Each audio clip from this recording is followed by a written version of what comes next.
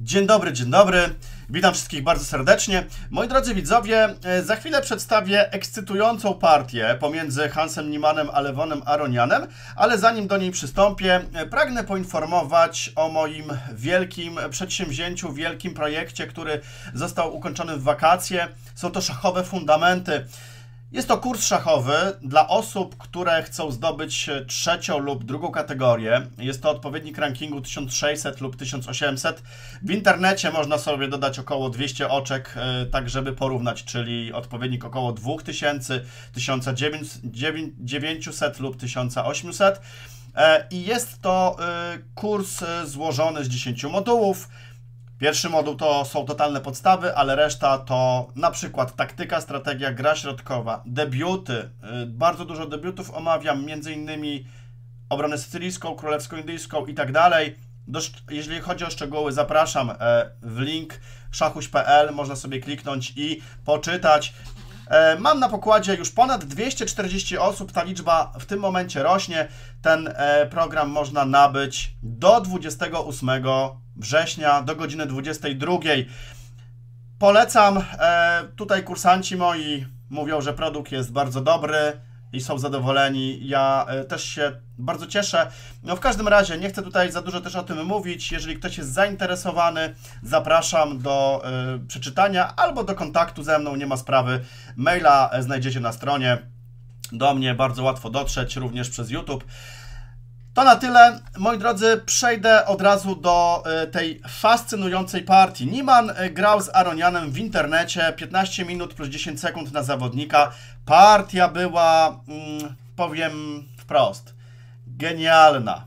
Genialna. A co pod tym słowem się e, kryje, to już do Was tutaj, znaczy pozostaje już, pozostawię już Wam, aczkolwiek partia była genialnie rozegrana już tłumaczę. Skoczek na F3, posunięcie D6, tutaj Niemann gra D4, bicie, bicie na D4, skoczek z atakiem na pionka, skoczek na C3, posunięcie A6. Mamy klasyczny układ w obronie sycylijskiej, wariant Najdorfa, najbardziej rozbudowany wariant w szachach, najtrudniejszy, najambitniejszy, ale który daje wielkie, wielkie możliwości czarnym. I tutaj Hans Niemann w tej sytuacji zagrywa posunięcie goniec D3. No, jest to posunięcie rzadko stosowane, yy, jeśli chodzi o statystyki, ale jak najbardziej ruch prawidłowy. Częściej w tym układzie widuje się posunięcie goniec na E3, ewentualnie posunięcie F3, można też zagrać goniec E2, ale goniec na D3, no, gra się rzadziej, ale jak, jak najbardziej jest to ruch spoko. Tutaj Aronian postanowił zagrać G6, czyli bardziej ustawić się na takie um, warianty smocze, chociaż to nie jest e, wariant smoka, e, ale e, no, zdecydował się po prostu na domek, na co Niemann zagrał F3, posunięcie goniec G7, normalna sprawa. I teraz Hans Niemann zagrywa posunięcie, które mnie osobiście bardzo zaskakuje. Bardzo. Jest to ruch goniec na E2 nie jestem w stanie wytłumaczyć, po co to posunięcie. To znaczy, z jednej strony jestem w stanie to wytłumaczyć, no bo na przykład e, w tym momencie może grozić taki ruch, e, chociaż on nie jest taki super groźny. Przypuszczam, że na przykład skoczek na G4, chociaż może to jest abstrakcja, chodzi o to, żeby tutaj atakować skoczka. Może dlatego e, Hans Niemann zagrał goniec E2, żeby hetman bronił skoczka, ale ja się zastanawiam, dlaczego białe nie zagrały wcześniej goniec E2, mając e, to tempo. Teraz to tempo zostało stracone przez białe, no ale pozycja jest cały czas taka powiedzmy normalna. W tej sytuacji tutaj Aronian zagrywa skoczkiem na D7, e, Niemann robi roszadę, B6 ze strony czarnych. No i można by powiedzieć, że B6 jest takim słabym ruchem, ale nie jest.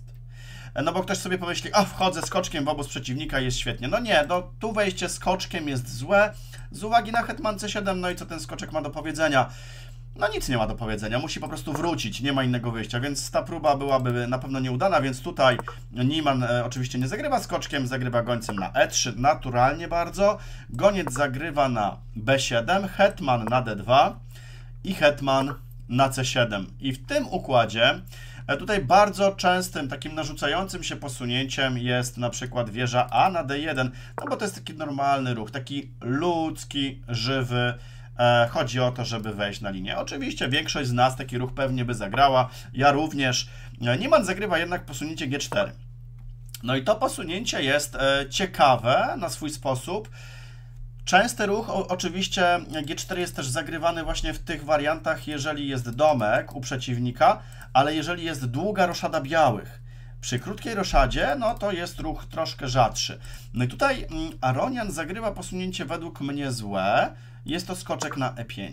E, ten ruch ma na celu e, wpuszczenie skoczka na D7. E, no, Aronian słynie z tego, że lubi sobie tak kombinować troszeczkę w swoich otwarciach i wymyślać nowe idee. I chwała mu za to. Fajnie, że są tacy szachiści. Jest się od kogo uczyć i rozwijać. Ale jednak w tej sytuacji myślę, że zdecydowanie, znaczy tu silnik oczywiście podpowiada, lepsze jest zagranie H6 tak po prostu, żeby nie było tego posunięcia G5. Jeżeli tutaj białe by na przykład chciały grać H4, co by bardzo odsłaniało króla, to jest e, jedna sprawa, czasami trzeba uważać na D5 i hetman tam by wskoczył na G3, ale po ruchu H4 e, chodzi o to, żeby wejść tutaj, ale już czarne mogłyby wybić, wybić i ta wieża byłaby aktywna. Więc no tutaj myślę, że H6 załatwiałoby sprawę i G5 by nie musiało, nie, nie musiałoby nastąpić. No jednak Aronian zagrał inaczej, mianowicie skoczek na E5. W tym momencie Niemann gra G5, atakując skoczka, który musi iść na pole D7 i posunięcie B3. Ruch jak najbardziej zrozumiały, prosty, dlatego że skoczek jest bardzo ograniczony w centrum, no i grozi na przykład tutaj F4. No nie wygląda to, e, no to dobrze. I teraz następuje posunięcie E6. Niestety ten ruch Aroniana jest po prostu zły. Ja za, zaraz wytłumaczę dlaczego. Od razu pokażę alternatywę, jak należałoby zagrać bardziej prawidłowo. My, znaczy nie bardziej prawidłowo, tylko prawidłowo. Wieża na C8 i tutaj to połączenie jest jak najbardziej zasadne. Tutaj atakujemy skoczka i skoczek mógłby wlecieć na pole D5. No to jest ruch taki bardzo nieprzyjemny, ale po hetman D8 Problemów tutaj czarne nie miałyby absolutnie żadnych. Pozycja jest jak najbardziej normalna, typowa i do gry.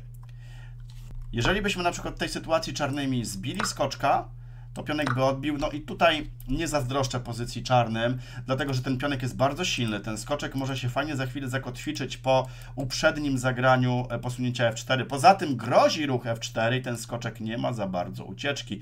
E, trzeba by było kombinować, jakieś hetman C3, jakieś wymiany robić, może F5, ciężko stwierdzić, ale tu się robi, robią wtedy dziury. Bardzo nieprzyjemnie to wygląda czarnymi. E, no więc tak nie było. Aronian zagrał po prostu na E6 pionkiem. I teraz Niemann gra F4. No właśnie. Co ma zrobić ten skoczek? Od razu powiem, że Aronian zagrał wieża C8 z atakiem na skoczka, ale sprawdźmy. Y, musimy sprawdzić koniecznie, co by było po odejściu skoczka na C6. I tutaj pragnę Was na chwilę zostawić, dać Wam kilka sekund na zatrzymanie materiału i spróbowanie e, znalezienia fajnej kontynuacji białymi. Jeżeli ktoś już gra obronę sycylijską białym kolorem, no to myślę, że się całkiem nieźle powinien tutaj orientować. Otóż można byłoby zagrać pięknie, grając posunięcie skoczek z, B na D, e, z D na B5. Bardzo agresywny ruch. Zobaczcie, podstawiamy tutaj skoczka pod e, pionka. No, Trzeba było ofiarę przyjąć, nie ma innego wyjścia. Skoczek by wybił, tu wisi wieża, ale na szczęście jest e, hetman pod atakiem. No i hetman na przykład zagrywa na B8, tutaj skoczek by zbił. Chodzi o to, że e, hetman na b8 zagrywać, zagrać raczej musi, no bo żeby bronić gońca, bo widzimy, że po tym ruchu jest szach i są widełki, ale nie można zbić gońca, znaczy gońca zbić można, ale nie za darmo już, bo hetman broni. No i tutaj na przykład e, król f8 albo król e7 bez większego znaczenia. E, w tej sytuacji można by było wzmocnić grę grając wieżą, Ewentualnie można by było jeszcze poszaleć, zbić na F7. Trochę skomplikowany wariant, trudny, ale po tym ruchu na przykład król zbija, hetman zbija i tutaj można się już w tej sytuacji poddać. To jest e, kompletny najazd na króla. Partia powinna się bardzo szybko skończyć. Tak nie było. Mogło być, ale poszła wieża na C8.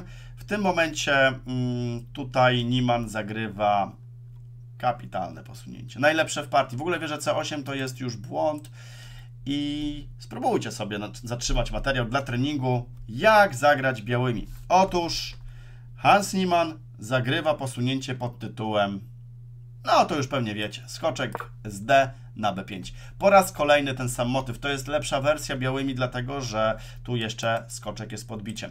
Poszło bicie, poszło bicie. Hetman zbił na C2. Z tym się trzeba liczyć.